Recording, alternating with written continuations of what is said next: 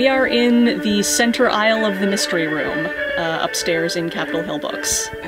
Place is honestly too cool to actually exist, so it's it's hard to really get across to people when I tell them where I work, what a cool place I work in. Um, and it, it's sort of just the mythos around bookstores in general.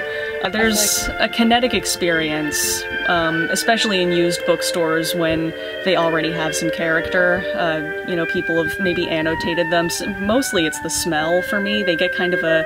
I know there's a chemical process that goes into it, but I always think it smells like vanilla when they're really, really old. So I think the kinetic experience of holding and experiencing a book is it, there's something to be gained from that. Mm, I like the basement.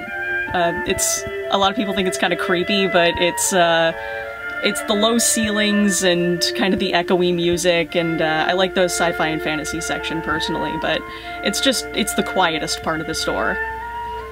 And of course, we have, like every bookstore, we have history, we have politics, psychology, uh, health, uh, drama, you know, fiction, mysteries, um, and we really have a large supply, eh, you know, because we're completely full. Mm -hmm. um, people who come to visit DC and they look down a list of things to see, you know, aside from museums, etc., and it says Capitol Hill Bookstore.